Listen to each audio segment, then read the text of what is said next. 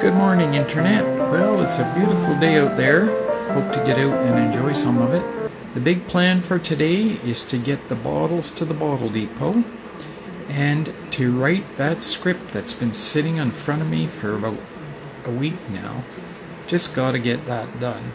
I did get Silverado Socrates' uh, music video finished yesterday, and uh, she seems to be very happy with it. I'll be pleased to see what she does with it, and we'll try to direct you to where you can see it as the time comes up. So I'm changing my routine for taking bottles back to the bottle depot. What I was doing was counting the bottles at the depot and using their bag.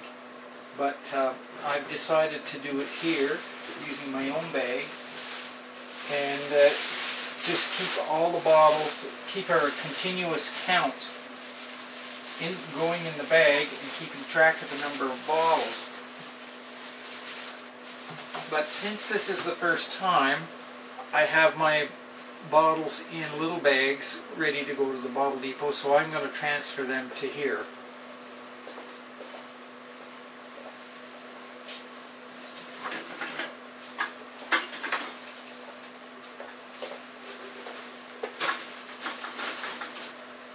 And I have to count them.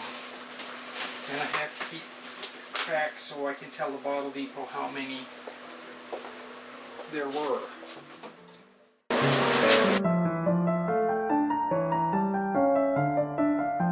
Well, another beautiful day. We have long falls here in the Okanagan Valley, which is a great blessing, and uh, I really appreciate. Getting to be very close to Halloween. So I wonder if we'll get any kids this year. This uh, little pumpkin display might help to bring them in. Well, I'm here at the bottle shop.